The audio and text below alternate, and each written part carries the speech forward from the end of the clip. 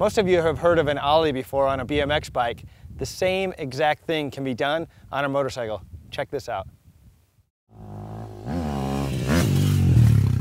So you can see I wheelie, throw my weight forward, which picks my rear wheel off the ground. It's really all about the timing. There are three critical factors to doing an ollie.